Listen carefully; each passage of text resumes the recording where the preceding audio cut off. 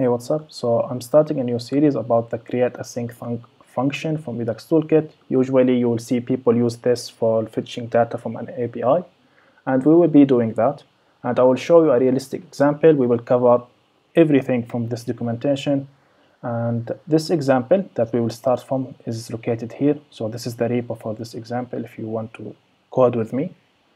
It's called in-depth create async thunk. I will put a link in the description. So basically just clone it and check out to the start point branch and hit npm install, then npm run start, and you'll be good to go. The main branch is where the final code from this playlist will reside. So if you are starting, just go to start point, npm install, npm run start, and that's it. When you do that, as you can see, like I did here, you will face this app. So this is the realistic example. You will have Redux, you will have this side nav, and you have this main content area. Whenever you click on a tab, you should display that data for this tab. So this is now the dashboard, should, or the data for the dashboard should be displayed here. Now this is a users list, this is a report, this is the bug request. So I think this is a realistic example.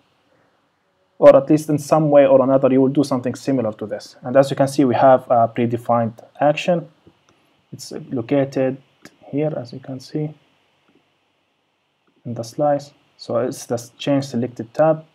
It will just change the current selected tab. So when we do this we will dispatch an action at some point to fetch some data and stuff like that. So this is this is it. This is the starting point.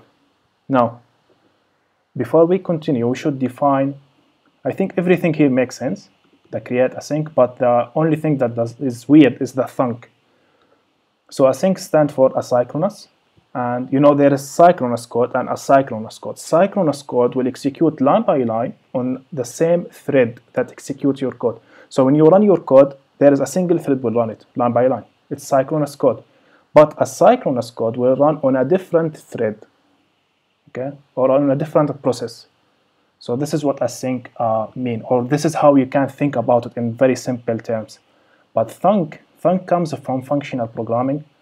It basically means when you have a function that returns another function.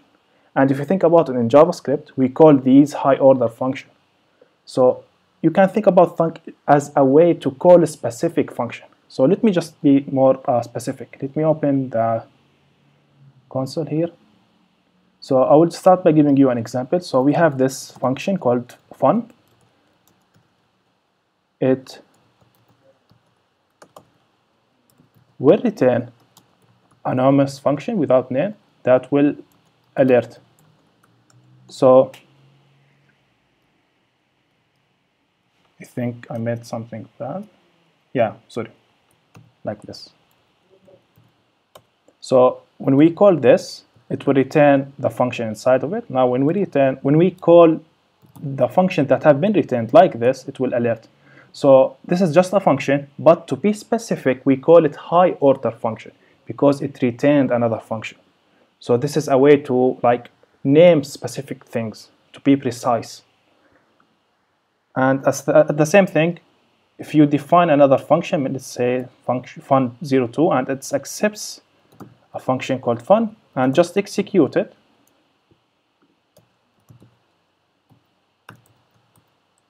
and let's give it a function that will alert to. As you can see it will go and execute that. This is also a high order function. So a high order function it will accept a function or return a function. But at the end it's still just a function. So thunk is a little bit similar. It's still just a function but it will return another function and that function will delay something. So when you have something similar to this you will call it a thunk and I will put a link in the description into very good two articles. This is one of them, and this is, I think, it's the best one. Uh, I'll put a link in the description for it. So basically, here is an example where you can call this code a thunk, or this function a thunk. You have a function here, a high order function. Why? Because it retains another function. Okay, we are now here being specific. So it's just a function, but we will call it high order because it retains some another function. And that function, as you can see, when you execute it, it will delay executing this function, the logger function. And this is why we call it a thunk, because it will delay executing something from the returned function. that's it. That's that's it. I don't think you need to go any deeper than that.